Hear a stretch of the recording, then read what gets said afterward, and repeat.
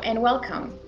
Structure and diversification of the economy, geopolitics, trade priorities, legacy, history, and a host of other factors drive the exchange rate policies of countries. Taking into account the recent dual economic shock to oil exporting countries, OECs, of the fall in oil prices and the global slump caused by policies to curtail COVID 19, like the Great Lockdown and its implications. The need to revisit exchange rate policies in OECs to help offset exposure to such volatility takes greater importance. So, what options for exchange rate policy can be played to address these issues? To answer all these questions, let's talk about the oil producer's dilemma with Whiteshield Partners Senior Manager Dr. Kai Chan. Welcome, Dr. Chan. Thank you for having me, Aya. So, uh, tell us what economic, social, or political factors affect countries in adopting pegged or floating exchange rate policy?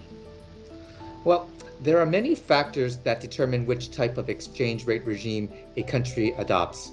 Uh, sometimes the one in place is not optimal, but change can be difficult to execute. Uh, fixed rates are helpful if the traded sector is large, as it gives more predictability in trade arrangements. However, a big drawback with fixed rates is that it makes monetary policy ineffectual, as the monetary policy of the pegging nation has to follow that of the nation which the rate is anchored to. Floating rates on the other hand, are more favored for large complex economies and are generally better at insulating against external shocks. However, with floating rates, fiscal policy tends to have less efficacy. Politics might also enter the conversation uh, about the optimal uh, exchange rate regime, especially with regards to monetary unions or customs unions, which require a common currency or hard peg to work. And what is the rationale behind pegged exchange rates in oil exporting countries?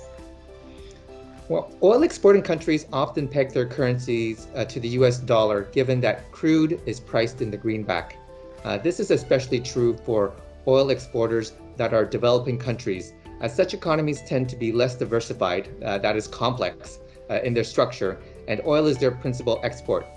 Uh, such countries also gain from importing the monetary credibility of the anchor country, in this case, uh, the United States.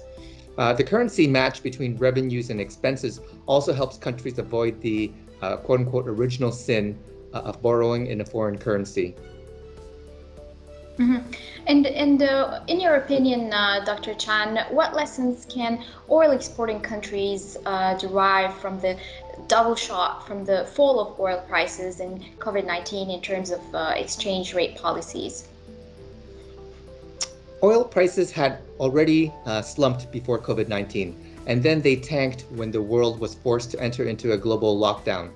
Uh, the global COVID depression, uh, which I call the COVID depression, uh, that the coronavirus precipitated, meant that oil exporters faced a double whammy of low oil prices and depressed economic conditions that were not offset by favorable conditions abroad. Having an exchange rate pegged to the US dollar makes oil prices pro cyclical as oil prices amplify throughout the economy. Uh, such countries might be better served with an exchange rate regime that acts as an automatic stabilizer to soften fluctuations in the economy caused by swings in the price of uh, oil. And such one such example would be, for example, to include in the basket of currencies to which a, an, exchange, an economy may peg their uh, currency, something such as the uh, commodity of oil itself, uh, which would then act as a natural stabilizer, uh, you know, when there are volatility or changes in the price of oil. Mm-hmm. All right. Uh, thank you so much, Dr. Chan, for all the uh, insightful information. I uh, very much appreciate you taking the time with me today. You're welcome. Thank you, I.